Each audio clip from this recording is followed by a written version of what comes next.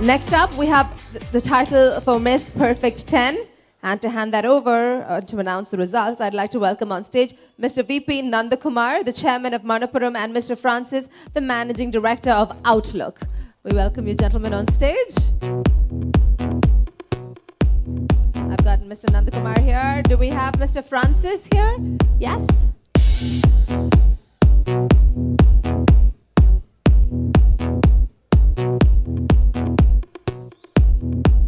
He is. Okay, so Miss Perfect 10 Iverlinum Arcana. Let's find out.